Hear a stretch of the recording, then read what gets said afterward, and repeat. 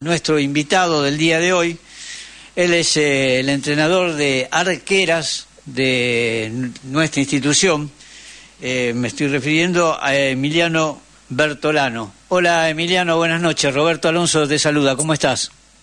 Hola, ¿cómo estás Roberto? ¿Todo bien? Un gusto estar acá. Bueno, el gusto es para nosotros. Bueno, y hemos en nuestro espacio... Eh, hemos entrevistado, charlado con los entrenadores de, arqueros masculinos, como vos los conocés, Tato Monte o, Claudio Argüello, este, pero es la primera vez, si bien nosotros este, hacemos el fútbol femenino de River, han salido varias de las chicas que jugaron, inclusive alguna por ahí está jugando en este momento también en la primera. Eh, tuvimos eh, a a uno de los técnicos de, de, la primera de River, como es eh, Cristian Colisec.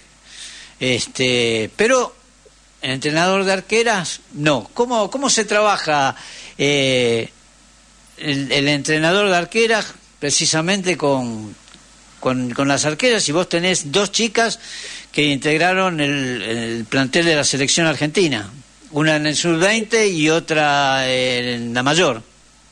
Sí, sí. Yo actualmente Martina Crotter, que, es la arquera que atajó todo el semestre pasado, eh, actualmente ahora está en el, en el Mundial, está en el sub-20. El, ahora el jueves juegan contra Alemania. Así que siempre es un motivo de celebración tener una arquera en un Mundial. Y el año pasado Lara Esponda eh, fue una de las tres arqueras que fue al Mundial, a la mayor.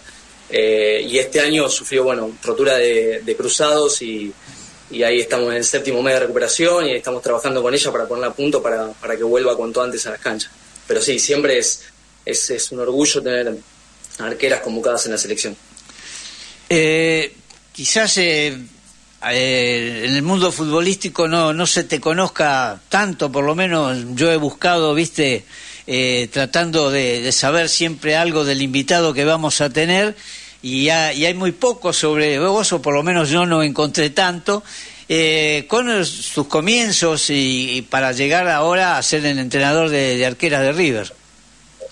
Bueno, Carlos, yo la verdad que tuve un proceso formativo bastante, bastante truncado, ¿no?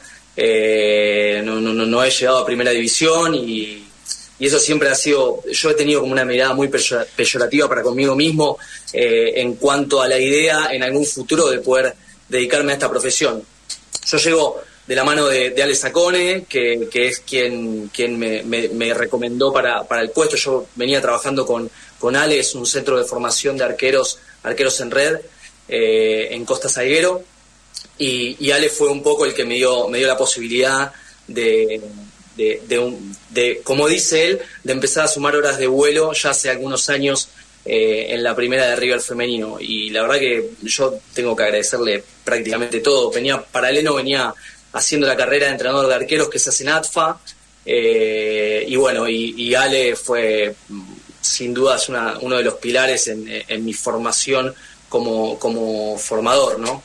Y, bueno, y él me recomendó, pues en ese momento en la primera de River estaba, estaba otro entrenador que tenía complicaciones porque también trabajaba en infantiles masculino y se, se le complicaba, entonces yo medio como que, que fui a hacer mis primeras armas de a poquito y me terminé quedando y hoy en día ya se, voy para mi cuarto año en, el club y, estoy no solamente a cargo del plantel profesional, sino que de, todas las arqueras del club. Tengo siempre digo que tengo como el, enorme privilegio y al mismo tiempo la enorme responsabilidad de trabajar con todas las arqueras de, del club. Hoy la, la, la estructura de fútbol, de fútbol femenino me, lo permite poder desarrollarme no solamente con las arqueras profesionales, sino también con, con, todas las, con toda la tira de formativas.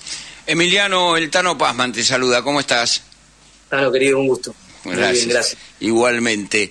Eh, te pregunto para, para un poco para, para desasnar a la, a la audiencia y, y, yo también entre ellos, ¿cuántas veces por semana trabaja eh, el plantel femenino, digamos, eh, si lo hacen en, en, River, si lo hacen en Ezeiza? Contanos un poco cómo es, la, eh, cómo es el trabajo semanal. La, la, dinámica es exactamente igual de cualquier primera división masculina. Es, trabajamos seis días a la semana y mejor dicho cinco días a la semana porque tenemos el día de competencia sería el sexto y un día de recuperación nosotros mira Tano generalmente entrenamos en el centro de entrenamiento que tiene River en Urlinga ah, sí. y hacemos las veces de local en River Camp. En River Camp jugamos de local en cancha 1 y, siempre en el año tenemos la posibilidad de una o dos veces poder jugar en, el Monumental. Eh, pero generalmente jugamos en, River Camp y los entrenamientos lo hacemos en, en Ezeiza. Una vez a la semana generalmente hacemos en las auxiliares del Monumental, eh, pero siempre, viste que las auxiliares del Monumental, bueno, para, para los que no conocen, eh, son de sintético. Sí. Eh, y bueno, y es medio un problema el sintético, ¿viste? Estar muy asociado con, con, las lesiones, es, complejo. Entonces, eh, en el predio de Hurlingham eh, tenemos césped natural, se trabaja, la verdad que mucho más cómodo, hay tenemos la infraestructura adecuada ahí para poder trabajar, toda a disposición, la verdad que es un lujo. entonces, la mayoría de los días trabajamos ahí en Hurlingham. Emiliano, Daniel Galazo te saluda. Buenas noches, ¿cómo te va? Buenas noches, Dani, ¿cómo estás? Bien, vos nombraste a ATFA, ¿no? A la Asociación de Técnicos, recién. Yo fui, fui allí yo. Eh, yo te quiero preguntar, ¿desde cuándo se instauró la carrera de mm, entrenador de arquero? ¿Cuánto hace que está esa carrera? Cuando yo estaba dando clase no, no estaba todavía. Bueno, mirá, Dani, la verdad que no te sabría decir hace cuánto. Sé que es bastante joven la carrera, debe tener unos 5 o 6 años, no, no, me quiero, no me quiero equivocar. ahora sí. El dato, el dato preciso.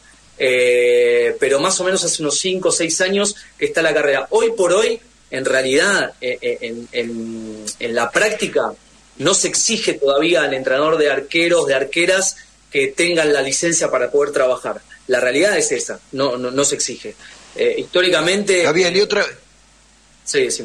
y, y otra cosita, a ver, teniendo en cuenta la, la ¿cómo decirlo?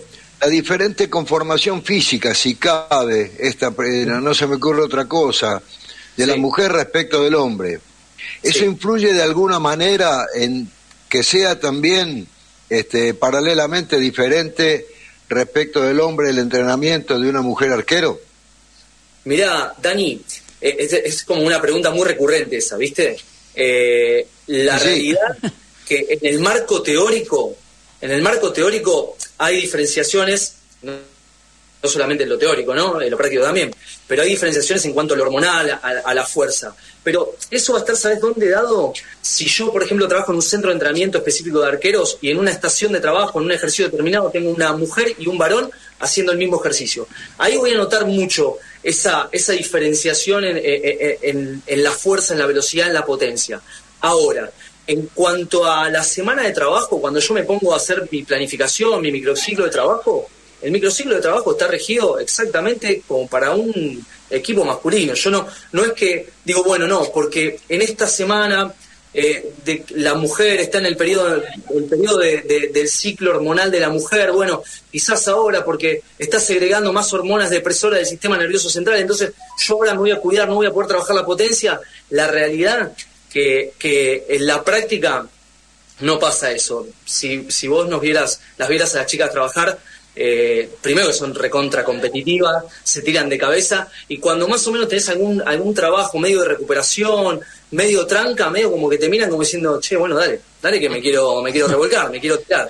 Entonces, eh, la realidad es esa. Sí hay que tener algunos cuidados en cuanto a la biomecánica, viste que la contextura de la, de la cadera en la mujer es distinto, es un poco más abierta por una cuestión anatómica, porque la mujer está preparada para dar a luz, entonces ahí sí se puede generar como un valgo, en las rodillas, el valgo es cuando las rodillas se tienden a juntar, bueno, ahí a, nivel ligamentario puede llegar a pasar si no está bien fortificado el tren inferior y la zona abdominal, la zona media, si no está bien trabajada, puede generar eh, eh, eh, lesiones ligamentarias. Pero también el varón también, de hecho Lara, Lara Esponda, que la, que les contaba al principio, que es, que es la que sufrió la rotura de cruzado, se, rompió casi cerquita cuando se rompió el Piti Martínez. Y el Piti Martínez tiene un cuádriceps así de grande, como mi cabeza.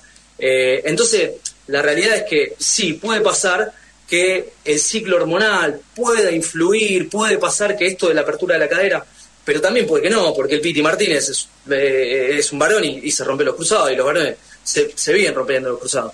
Entonces, la realidad es que en la práctica no hay diferencia. Yo planifico como si tuviera que planificar para trabajar con Armani, es, la realidad. Eh, mi microciclo de trabajo está tenido de todo lo que necesita la arquera para poder desarrollarse, entonces no, no, no, no es que yo ajuste un poco más o un poco menos porque son mujeres, la verdad que no. Eh, de hecho, hasta te, te olvidás que son mujeres. Trabajás a, Yo trabajo al 100 a todo lo que ellas me mm, pueden dar y, y, la verdad es el lugar eso es un placer. Contame, Emiliano, te quería preguntar cómo, cómo, cómo está el equipo, cómo está jugando, cómo le está haciendo este año a la, primera división femenina, digamos. Bueno, nosotros venimos de terminar el semestre pasado. Eh, eh, terminamos, mira, Tano, te voy a decir segundo, pero en realidad son terminamos tercera porque por, por diferencia de gol con Racing. Por un gol terminamos tercera, pero en cantidad de puntos terminamos igual. Me hace acordar a la década del 70. bueno, terminamos por, por, por, un, por un gol, terminamos terceras, pero después hicimos una campaña realmente muy buena. La, la, realidad, Tano, me duele mucho, yo soy fanático del club, así como, como lo son ustedes, y, y tenemos en el femenino una hegemonía de boca de ya hace mucho tiempo. Esa es la realidad. Sí, sí, lo sé, lo sé, lo sé, lo sé. No, no podemos eh, dejar de decir que, venimos de hacer un semestre bárbaro porque tuvimos un sudamericano, entonces tuvimos que postergar fechas, no pudimos jugar, tuvimos que después empezar a, a, jugar cada tres, cada cuatro días, y ahora nos va a pasar lo mismo, Tano, porque ya arrancó el campeonato, eh, ya va casi por la fecha 6 y todavía nosotros no jugamos ningún partido porque tenemos ocho jugadoras en la sub-20. Entonces ahora cuando ya se reincorporen, Dios quiera que Argentina pueda seguir avanzando, pero cuando ellas vuelvan, ahí tenemos que empezar a recuperar fecha. Eh, Emiliano, eh, vos, eh, eh, ¿cómo manejás? Recién decías que tenías todo el fútbol femenino, desde los más chiquitos hasta, los más grandes, ¿no? ¿Cómo, porque esto ha crecido en hace unos años el fútbol femenino, ¿no?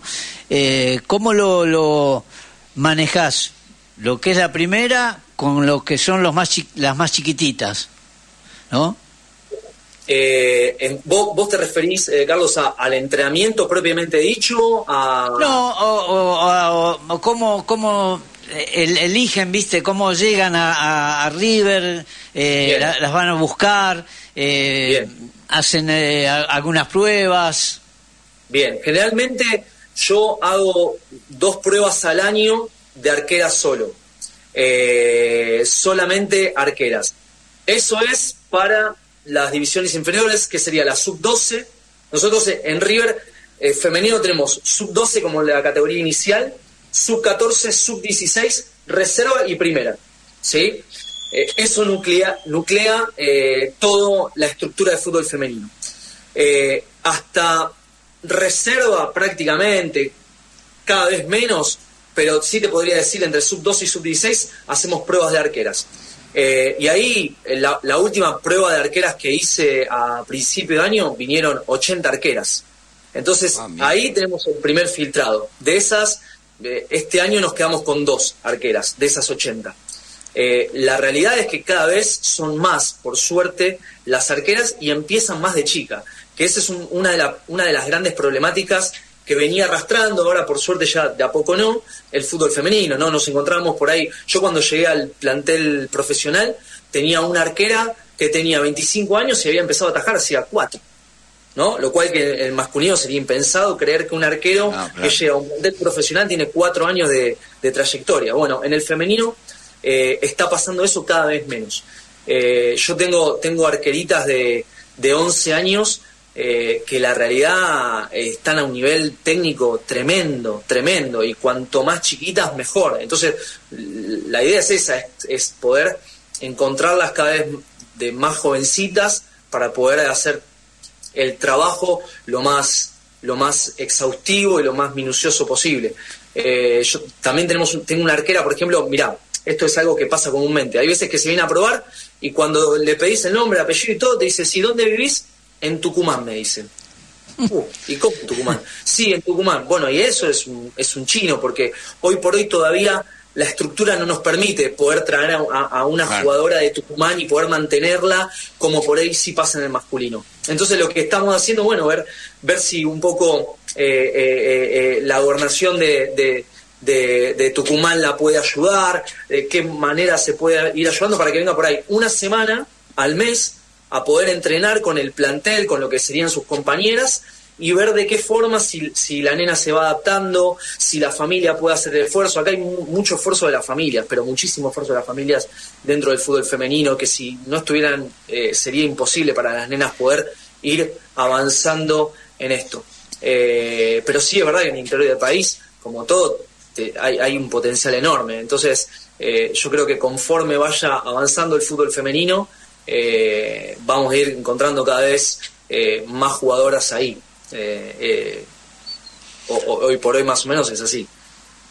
Esto quiere decir, Emiliano, que a diferencia de lo que ocurre con el fútbol masculino, las chicas que de sus diferentes edades se vayan destacando, van a progresar directamente en sus clubes de origen o de la zona de donde son, teniendo limitado el acceso al fútbol grande, si quiere llamarlo así.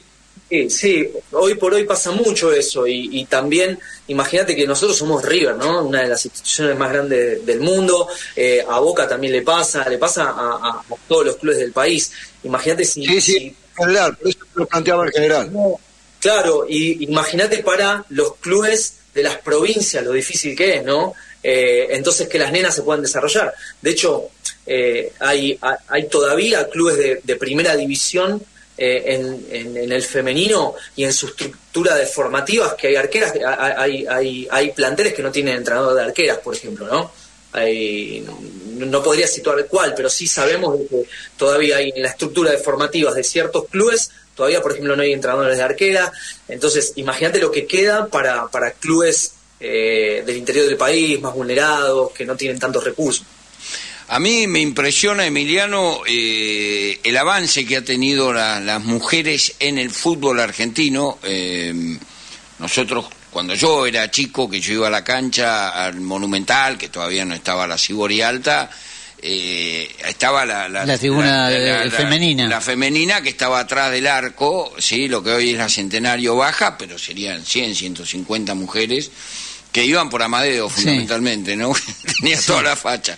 Pero yo voy a la cancha ahora y te diría que hay un 30 o un 40% de mujeres. Este, de hecho, yo generalmente voy con una de mis hijas este, que va a la cancha todos los domingos. Así que eh, eso, eso me impresiona y también este, en todos los clubes, así en, Pilar y en, en, donde se juegan campeonatos de fútbol amateur de hombres, también está el, mismo campeonato para mujeres, ¿no? Eso ha crecido muchísimo. Sí, cada vez se ve más. Por suerte, eh, cada vez se ve más y, conforme vaya creciendo se va a ir profesionalizando más, ¿no? Hoy, hoy todavía nuestro fútbol eh, de primera división es semiprofesional, todavía no es profesional del todo. Eso te iba a preguntar, sí.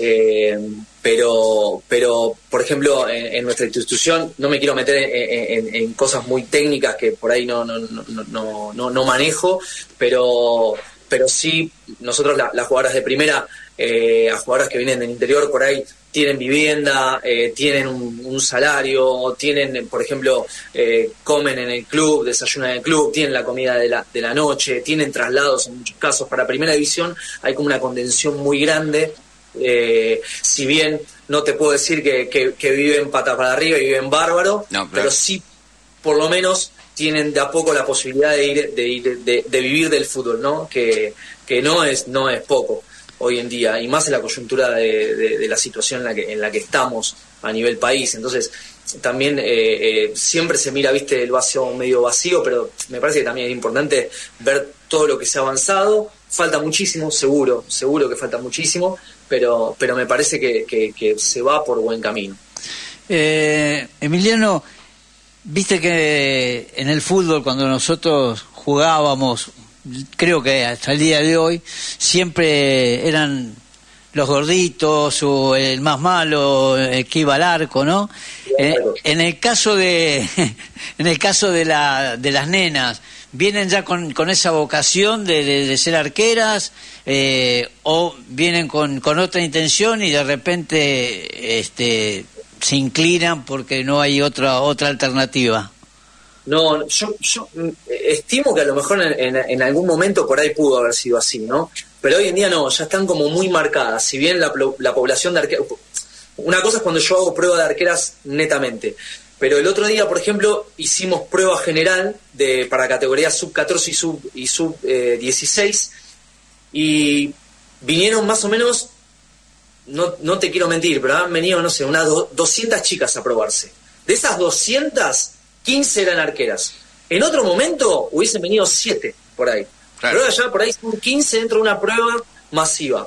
Y yo estoy seguro que a fin de año, cuando hagamos pruebas de arqueras solamente, van a venir otras 70, 80 o, o, 100 chicas. Cada vez se está eligiendo más, más la posición.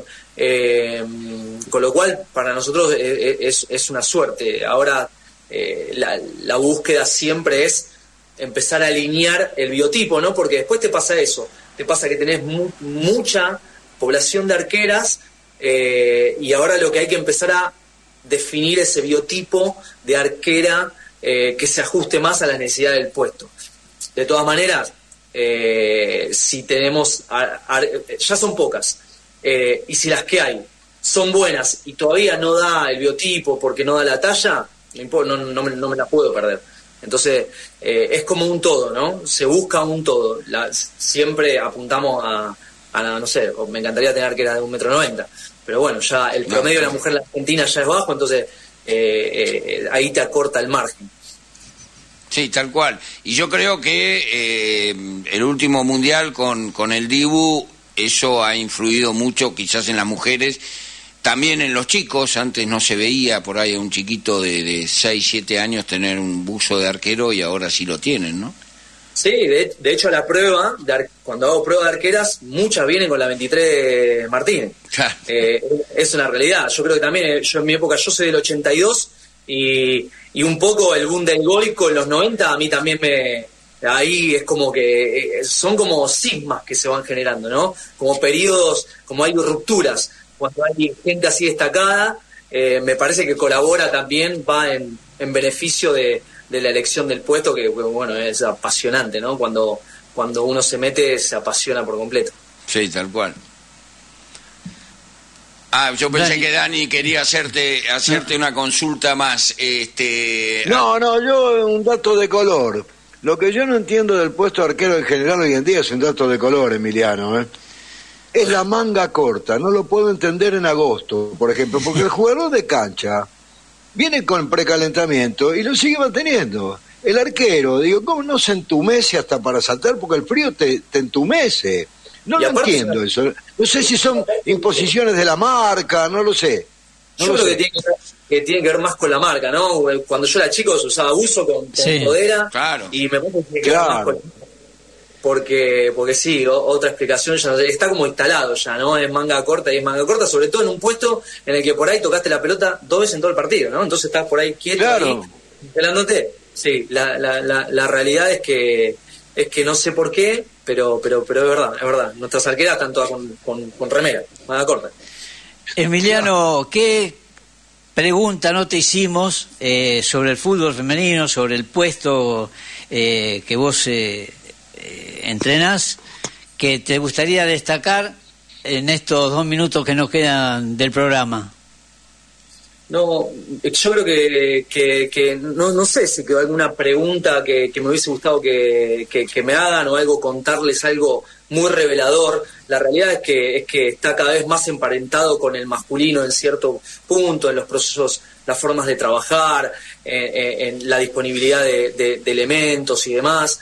Entonces, no hay tanta diferenciación. Sí, obviamente le falta crecimiento, estamos trabajando para, para desarrollarlo, para que cada vez sea más competitivo, para que cada vez sea más atractivo eh, y, convoque un poco más de gente ¿no? a, las canchas del fútbol femenino.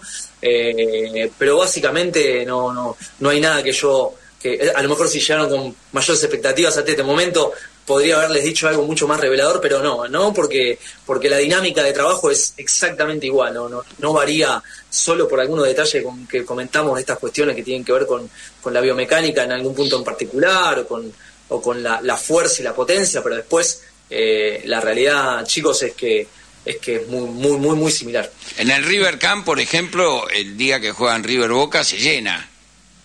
Sí, no, explota, Tano. Eh, hermoso se pone. Sí, yo he, yo he, ido a ver eh, la vez pasada, fui al River Camp a ver, eh, no me acuerdo si era la, la sexta, jugaran varias divisiones y jugaba River Boca y estaba repleto. Bueno, ahora en este semestre nos toca jugar de visitante. Ah, mira. Ahí no te voy, a, no, no, te voy a acompañar porque me van a matar. eh, Emiliano, bueno, se nos eh, terminó el programa. Eh, agradecerte y, bueno, conocer un poco más de, de, del fútbol femenino y de esa de ser técnico de arquera. Uno sabe que en el fútbol femenino hay técnicas también mujeres, técnicos mujeres, eh, y cuando hablé con Lao y me propuso este, tener esta charla contigo, me pareció eh, enrique, enriquecedora porque eh, demuestra al, al, oyente un poco lo que vos comentabas sobre la parte femenina eh, con lo masculino y dónde pueden estar las diferencias, ¿no? Eso creo que, que es muy, muy muy sustancioso para, para todos aquellos que vemos el fútbol femenino a veces por televisión y nada más y no sabemos este un poco la temática como vos la explicaste.